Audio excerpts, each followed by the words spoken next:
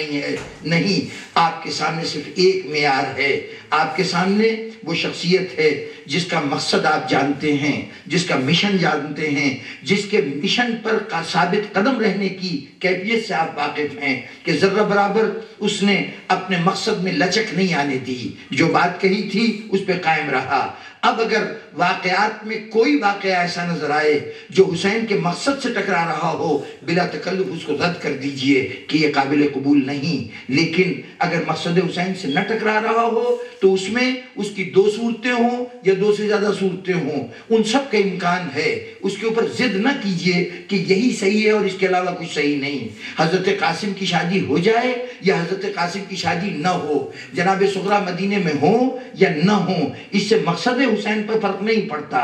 इमाम के उस इनकार पर फ़र्क नहीं पड़ता जो यजीद के सामने उन्होंने किया है। तो अब ऐसी सूरत में आप चाहे इसको मानिए, चाहे उसको मानिए। तो अब आज जबकि सूरत अहवाल ये हो कि मुसलमान रसूल की बेटियों की तादाद पर इख्तलाफ करते हों, रसूल की तारीख़ पैदाइश पर इख्तलाफ करते हों, तारीख़ वफात पर इख्तलाफ करते हों तो अहल बैत के घर में किसकी कितनी बेटियाँ थीं, किसके साथ कौन सा वाक़ किस तारीख को पेश आया, इस पर इख्तलाफ कोई परेशानी की बात नहीं है।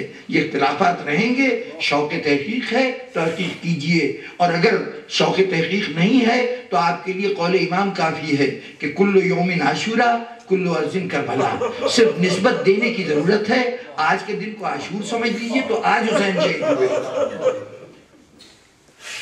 अब जनाबे वाला, इन इख्तलाफात की मौजूदगी में अगर हमें शाम में कब्र नज़र आती है जो रुकैया बिनते हुसैन की कब्र कहलाए। तो जहन में उलझन पैदा होती है कि आखिर ये बताया क्यों नहीं गया? क्यों नहीं मसला तय किया गया कि जनाब सकीना की खबर है या जनाब रुकैया की खबर है? और जनाब रुकैया नाम की कोई बेटी इमाम हुसैन की थी कि नहीं थी? आखिर ये इख्तलाफ क्यों है? आपकी उलझन अपनी जगह पर। लेकिन ज़रा हालात का जायज़ा लीजिए। देखिए, एक बच्ची, कम से कम इस पर तो सबका इतफाक है, हर मुर्ख का।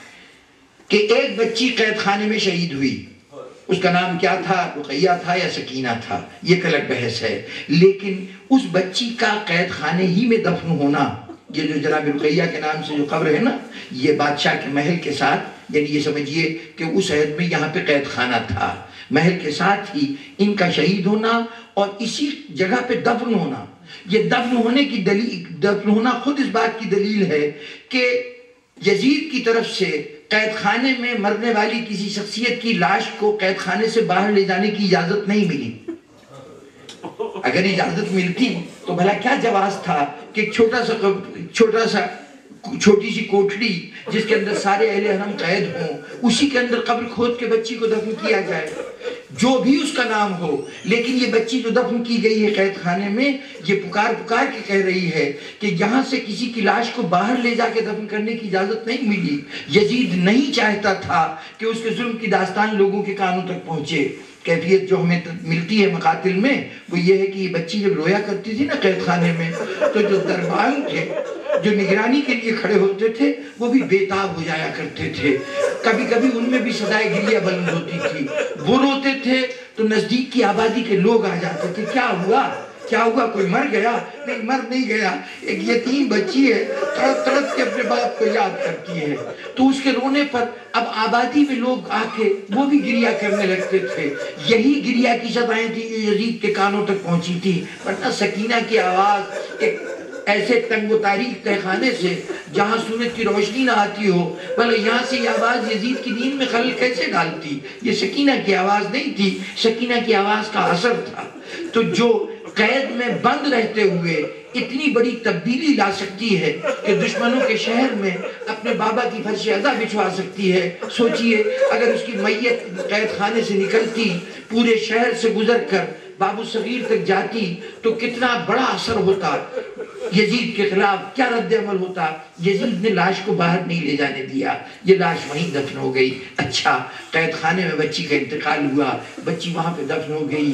अब जो बाहर की दुनिया है, उसे नहीं मालूम कि कोई बच्ची का इंतकाल हुआ है, कोई कैद खाने में दफन हो गई है। कुछ अरसे के बाद कैदी रिहा हुए। रिहा होके यहाँ से चले गए। अब कैफियत ये है कि कैदी तो चले गए, लेकिन अभी हुकूमत जो है, दमिश पर वो बनु मैया की है। और एक दो दिन की बात नहीं 61 हिजरा का वाकया है करबला का। 62 हिजरा में एक साल के बाद ये कैदी रिहा हुए। इस दौरान में बच्ची का इंतकाल हुआ। इसी कैद खाने के अंदर दफन हो गई। कैदी चले गए। ये कैद खाना इस वक्त गवर्नमेंट की प्रॉपर्टी है। सरकारी इमारत है। अवामुन्नास इस कैद खाने के अंदर नहीं जा रहे। यजीद के महल से मिला हुआ कैद खाना वो तो संगीन मुजरिमों के लिए होगा। आम पब्लिक जो है, वो उसके अंदर नहीं जा सकती। वक्त गुजरता गया। एक दो दिन नहीं 132 हिजरी 132 हिजरा तक बनु मैया की हुकूमत रही है। इस वक्त तक ये सरकारी बिल्डिंग है और गवर्नमेंट की तहवील में है और बादशाह के महल के बिल्कुल साथ है। इसके अंदर मासद में से कोई आदमी नहीं जा सकता पब्लिक का आदमी नहीं जा सकता। अलबत् एक सौ बत्तीस हिजरी में जब यजीद का तख्ता उल्टा गया और जब बनु मैया का तख्ता उल्टा गया, आखिरी बादशाह मरबानुल हमार था, वो कत्ल हुआ, ये सल्तनत खत्म हुई बनु मैया की। अब दमिश के बजाय पहले कूफा दारकूमत बना और फिर उसके बाद बगदाद बन गया। अब जो कूफा और बगदाद दारकूमत बने तो अब जो दमिश की सरकारी इमारतें होंगी, वो प्राइवेट चीज़ बन गई। अब पब्लिक जो है, वहाँ जा सकती है। ऐसे में पब्लिक गई होगी कैद खाने में देखा होगा कि एक जगह एक मिट्टी का ढेर है। ये समझ में तो आ गया कि ये कब्र है, लेकिन नहीं जानते किसकी कब्र है। किसकी कब्र है? इस दौरान में इस दौरान में ये देखा था कि अगर मदीने से बनी हाशिम का कोई फर्द आता है, कभी अब्दुल्ला इब्न जाफ़र आते हैं, कभी जनाब जैनब आती हैं, ये लोग अक्सर आया करते थे दमिश में आते हैं तो ये लोग खास तौर पर इस कैद खाने में जाते हैं। जब कैद खाने से बाहर निकलते हैं तो रोते हुए, गिरिया करते हुए निकलते हैं। तो अब ख्याल ये आया कि हो ना हो, ये कब्र किसी बहुत ही अहम शख्सियत की है। इसलिए कि बनी हाशिम जिस जज्बे का इजहार करते थे, जो रद्दमल ज़ाहिर करते थे, उससे पता चलता है कि यहाँ कोई अहम शख्सियत दफन है। अब कब्र नज़र आ गई है और ये भी अंदाज़ा है कि ये किसी इंपॉर्टेंट शख्सियत की कब्र है। तो वो कौन शख्सियत हो सकती है? जहन बच्चों की तरफ़ नहीं गया कि किसी बच्ची की कब्र हो सकती है। जहन गया तो ये हो सकता है ये अली की कोई बेटी हो। चुनाचे उस वक्त ये सोचा कि जैनब तो हो नहीं सकती, उनको तो हमने वापस जाते देखा है। उनमें कुलसूम हो नहीं सकती, उनका भी तस्करा तारीखों में मौजूद है, वो भी वापस गई हैं। अब तीसरी बेटी जो औलाद अली इब्न अबी तालिब में सबसे ज़्यादा अहमियत की हामिल थी, वो हज़रत मुस्लिम की बेवा, जिसके पाँच बच्चे करबला के हवाले से शहीद हुए हैं। दो करबला में, दो कूफे में और एक बेटी थी, आतका नाम की, वो भी शाम गरीबा में घोड़े की टापों से कुचल के शहीद हुई। चुनाचे जैनब नहीं हो सकती, ये कब्र उम्म कुलसूम नहीं हो सकती। अब कैदियों में से मर्द तो एक ही था ना सैयद सज्जाद, उसको तो वापस जाते देखा गया था ना, वो तो मौजूद की निगाह में था। अब सोचा कौन हो सकता है? उन्होंने कहा ये कब्र रुकैया बिनते अली की है। चुनाचे ये कब्र रुकैया बिनते अली की समझी जाती रही। और आज से 200 साल पहले, तकरीबन 1225 हिजरा यानी यूँ समझ लीजिए कि 1432 हिजरी है तो 1225 का मतलब ये हुआ कि आज से 200 और कोई 10 साल पहले की बात है 210 साल पहले एक सिचुएशन ऐसा पैदा हुआ पैदा हुई कि इस कब्र को खोलना पड़ा और जब खोलना पड़ा तो पता चला कि इसके अंदर तो कोई चार साढ़े चार साल की बच्ची रहती अब जब देखा कि ये बच्ची है कदीम किताबों में। ये कब्र खोलने का वाक्य भी दर्ज है और ये हवाले भी दर्ज है कि इस कब्र पर पहले रुकैया बिनते अली लिखा हुआ था। इस पे जो कतबा था, वो रुकैया बिनते अली अली की बेटी रुकैया की कब्र है। लेकिन जब ये कब्र खोली गई और उसमें बच्ची की लाश मिली तो अब कहा गया कि रुकैया बिनते अली तो नहीं हो सकती। पाँच बच्चों की माँ इतनी छोटी तो हो नहीं सकती। तो अब उन्होंने नाम वही रहने दिया, आगे उस नाम को बदल दिया और बाप के नाम को बदल दिया कहा, रुकैया बिनते अली नहीं, रुकैया बिनतुल हुसैन है। इस हवाले से ये नाम रुकैया बिनतुल हुसैन है। अब जनाबे वाला मैं ये अर्ज़ कर दूँ, और इसी पे गुफ्तु खत्म करूँ कि कब्र खोलने का वाक़ क्या है? जो ये वाक़ है, ये वाक़ क्या है? एक शख्सियत है क्याम पाकिस्तान से कुछ के, कुछ ही दिन के बाद उनका इंतकाल हुआ है। विलायत हुसैन नकवी नाम की शख्सियत थे। हैदराबाद दक्कन की शख्सियत हैं। हैदराबाद के बुज़ुर्ग बहुत अच्छी तरह उनको जानते हैं। वो जनाब सकीना के खसूसी मद्दाहों में, खादिमों में से थे। हर साल कमोबेश, उस ज़माने में जब ज्यारत के लिए आना एक बड़ा कारनामा होता था, कमोबेश हर साल ज्यारत के लिए जाया जा, करते थे जनाब सकीना की। और आपने उस जनाब सकीना की कब्र के सिलसिले में बहुत काम किया है, अपने ज़माने में जिस हद तक हो सका, उसको कायम करने, उसको डेवलप करने में जो कुछ कर सकते थे, वो उन्होंने किया है। वो विलायत हुसैन साहब, उन्होंने किताब लिखी खैरतुलनस्वा वो जनाब सकीना के अहवाल पर मुश्तमिल है। एक तो उन्होंने इन वाकयात को अपनी किताब में दर्ज किया। उसके अलावा अभी हाल में ईरान से किताब छपी, जिसका नाम है अशाम ज़िंदा। वो जिस्म जो ज़िंदा रहे यानी मौत के बाद भी जिनके ज़िंदा रहने की शहादतें मिली, उन्होंने भी इस वाक़े को अपनी किताब में दर्ज किया है अपने हवालों से। इनका हवाला तो बुनियादी तौर पर लखनऊ के कोई वाहिज हैं, उनकी लिखी हुई किताब थी, जो बिलाल हुसैन नकवी साहब ने जिसका बुनियाद बनाई, और उन्होंने दीगर हवालों की बुनियाद पर यह वाक़ लिखा। वाक़ क्या था कि 1225 हिजरी के करीब सूरत हाल ये हुई कि शहर दमिश्क में एक सैयद रहते थे, उनका नाम था सैयद इब्राहिम। वो सैयद इब्राहिम बड़े नजीब फ़ैन सादात में से थे। उन्होंने एक रात ख्वाब में देखा कि एक बच्ची है और कह रही है कि मेरे कब्र में पानी आ रहा है। ख्याल रहे कि ये जो, ये जिन लोगों ने इजारत की है, वो मेरी बात को अच्छी तरह समझ सकेंगे। कब्र जनाब सकीना के साथ ही एक गली गुजरती है। उस गली के अंदर आज बाज़ार है। छोटी छोटी दुकानें हैं। वो जो बाज़ार है, वो किसी जमाने में नहर हुआ करती थी। वो चूँकि डिप्रेशन में वो बाज़ार है, वो कभी नहर होती थी। इस नहर का पानी रिस रिस कर सकीना की कब्र में जा रहा था। तो राजा ने करबला में चचा नहीं लाया ना? उसके बाद सकीना को पानी से नफरत हो गई।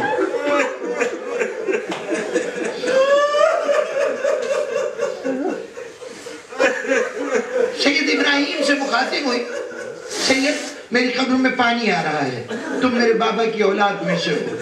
तुम मेरे बाबा की औलाद में से हो। देखो, मेरी कब्र की मैंने हुक्म दिया है हाकिम शहर को कि वो मेरी कब्र की मरम्मत करवाए। वो कब्र की मरम्मत करवाएगा। लेकिन इतना ख्याल रखना, मेरे जिस्म को किसी गैर का हाथ कोई गैर मेरे जिस्म को छूने ना पाए। मुझ पर किसी और की नज़र न पड़े। बस मुझे लेके अपने पास उस वक्त तक रखना जब तक कब्र मरम्मत नहीं हो जाती।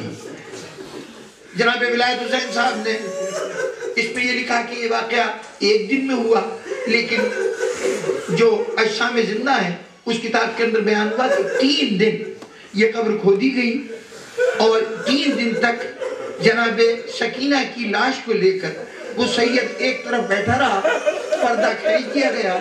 ये जनाब सैदा का मोजा था। कि तीन दिन ना उसे भूख प्यास लगी, ना नींद आई। वो बस बच्ची के लिए बैठा रहा इस आलम में जब कब्र खोदी जा रही थी ना तो पहली बात जो कब्र खोदते हुए महसूस हुई, वो ये महसूस हुई कि आमतौर पर तस्वूर ये किया जाता है कि कब्र को चौरस एक बाग की सूरत पे खोदा गया होगा।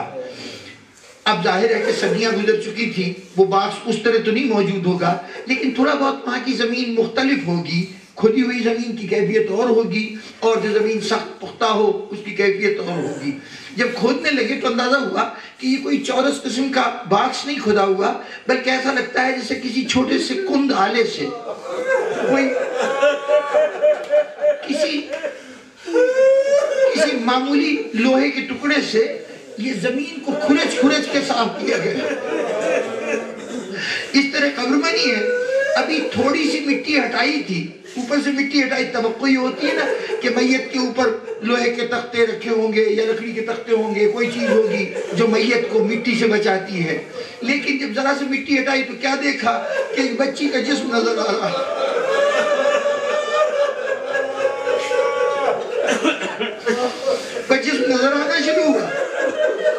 सैयद इब्राहिम ने फ़ौरन मजदूरों को हटा दिया कि अब यहाँ से सब हट जाओ। अपने हाथों से मिट्टी को आहिस्ता आहिस्ता हटाया, जो लाश थी ली, अल्लाह के गोशे में बैठ गए। एक पर्दा पहले से काम दिया गया था, उस पर्दे के पीछे बैठ गए। बाहर मजदूर काम करते रहे। अमीर खड़ा निगरानी कर रहा था। क्या कैफियत थी? थोड़ी देर गुजरती थी और सैयद एक मरतबा चीख मारता था। चीख मार के रोता था। फिर थोड़ी देर जरा आवाज़ आहिस्ता होती थी। फिर एक मरतबा चीख बुलंद होती थी। जब सारा काम हो गया, जब कब्र तैयार हो गई तो फिर सारे बाहर चले गए। सैयद कब्र में उतरा, मैयत को उतार दिया, कब्र बंद की, बाहर आया। अब जो बाहर आया तो अमीर ने कहा कि जिस हालत में हमने मैयत का इब्तदा देखी थी, जिस तरह कब्र नज़र आई, वो तो अच्छे अच्छों को रुलाने के लिए काफ़ी थी। लेकिन सैयद, तू क्या देख रहा था? जिसपे तू चीख चीख कर रोता था। क्या देख रहा था, जिसपे तो आवाज़ यूँ बुलंद होती थी। उसने कहा कि ये जैसी सुना ना जुमला, एक मरतबा फिर उसकी चीख निकल गई। कहा, मुझसे न पूछो कि मैं क्या देखता था।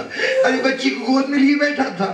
जब उस पर नज़र पड़ती तो बेसाख्ता दिखाई देता कि जिसमें कफन नहीं है, एक जला हुआ कुर्ता है।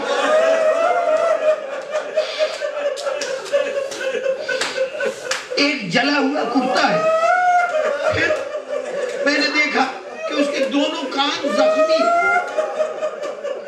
और उसके गालों पर नील का निशान है। ये कह दिए देखता था तो चीख पड़ता था।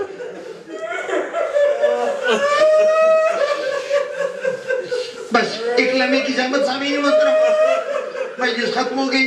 माली मजलिस हासिल हो गया। लेकिन एक वाक्य मैं कर दूँ वो जिन विलायत हुसैन साहब ने किताब लिखी है, उनके एक निवासी पाकिस्तान में हुआ करते थे। उनको विरासत में जनाब सकीना से बड़ी अकीदत एहतराम मिली और वो हर साल जनाब सकीना की कब्र के लिए गिलाब तैयार करवाते हैं। वो पहले पाकिस्तान से लेके जाते थे। अब वो वहाँ से हिजरत करके आपके मुल्क में न्यूयॉर्क में आ गए हैं और हर साल न्यूयॉर्क से वो चेलुम के मौके पर वो खसूसी तौर पर गिलाफ बनता है, जो गिलाफ जो गिलाफ असल खबर पर चढ़ाया जाता है। वो जाते हैं, उनके लिए चूँकि उस गिलाफ को सरकारी तौर पर तस्लीम किया गया है, जब ये जाते हैं तो इनके लिए जरी खोल दी जाती है ये अंदर जाकर पिछला गिलाफ उतार लेते हैं और उसके बाद नया गिलाफ उसको चढ़ा देते हैं। जो पिछला गिलाफ उतारते हैं, वो उनको ही दे दिया जाता है कि आप इसको ले आइए। उन्होंने पाकिस्तान में भी पहले और अब न्यूयॉर्क में एक बाकायदा अपने घर के अंदर एक जरी चांदी की बनवा रखी है, उसी साइज़ की कब्र है वो गिलाफ के वहाँ पे रख देते हैं। हर शब जुमा मोमिनीन जो जो जानते हैं, वो चले जाते हैं। वहाँ बैठ के हदीस किसा हो जाती है, एक छोटी सी मजलिस हो जाती है। वो मियाँ बीवी सारे जितने भी आए होते हैं लोग, उनकी जितनी भी तोज़ो हो सकती है, खाने वगैरह से, वो सब एहतमाम करते हैं। ये सिलसिला यहाँ भी जारी है और उससे पहले पाकिस्तान में भी जारी था। क्योंकि मेरे शहर इस्लामाबाद से उनका ताल्लुक था। उनके यहाँ एक दिन इसी तरह शब जुमा को बैठे हुए थे। उसी ज़माने में मुझे उनके नाना जनाब विलायत साहब की वो किताब हाथ आई थी। मैं उस किताब के मुंदरजा उस किताब के सिलसिले में वाक़ और भी एक और साहब से मिला था। तो मैं वो किताब लिए हुए और वाक़े की जो तफसीलात थी, वो एक कागज़ पे लिखे हुए, उनके यहाँ बैठा हुआ था। कुछ और दोस्त भी बैठे हुए थे। उनके सामने मैंने ये वाक़ बयान करना शुरू किया। उसमें एक शायर थे जनाब सफदर डोगर साहब, माशाल्लाह से अभी हैं, खुदा उनको बाकायदा हयात रखे, मद्दाए बैत हैं, वो बैठे हुए थे। कोई मजलिस नहीं हो रही थी, बस यूँ ही बैठे बातें हो रही थी। लेकिन अब ज़ाहिर है कि ये वाक़ सुने कोई तो साहब दिल होगा तो उसकी आँखों में आँसू आएँगे। मैंने जब ये बताया कि सैयद ने ये कहा कि मैंने ये देखा ये देखा ये देखा तो हमारे पंजाब में तरीका ये है कि जब जाकिर, यानी जो तरन्नुम से पढ़ने वाले हैं, जब वो कोई शेर ऐसा पढ़ते हैं कि इसमें बेपना गिरिया हो तो अक्सर सामीन फरमाइश करते हैं कि इस मिसरे को दोबारा कहो। ये बात दोबारा कहो। शायद उसी आदत का नतीजा था कि वो सफदर डोगर साहब मुखातिब हुए कर ले सैयद। ये जो आपने जिस हाल में देखा गया ना सैयद, जनाब सकीना की लाश को, जरा फिर तो बताइए। फिर तो बताइए किस हाल में देखा। अब जरा आप सोच सकते हैं कि खतीब में और शायर में बड़ा फ़र्क है। शायर तो अपने कलाम को मुकर्र पढ़ सकता है, लेकिन खतीब अपने कहे हुए जुमलों को कैसे दोहराए? मैं एक उलझन में पड़ गया। फ़ौरन मेरे जहन में सवाल आया और उस सवाल का जो जवाब जहन में आया, फिर मेरे लिए जुमले दोहराना मुनासिब हो गए, आसान हो गए। सवाल क्या आया? मैंने सोचा कि कई दफे ऐसा होता है कि चोट लग जाती है घुटने पे, पैर पे, हाथ पे, और खून बहता नहीं है तो नीचे नील पड़ जाता है। ये नील हफ़्ता भर रहता है, दस दिन रहता है, पंद्रह दिन रहता है, उसके बाद वो खून जो है डिजॉल्व हो जाता है, और आपकी जिल आम हो जाती है।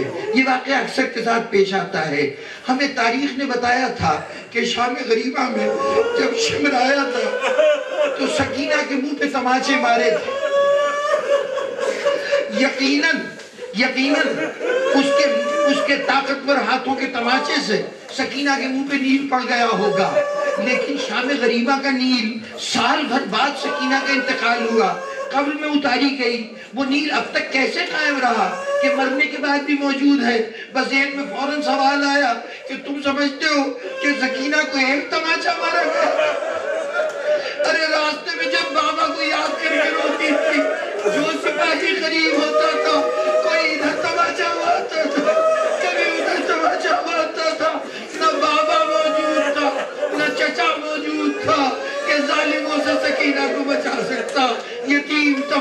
तमाचे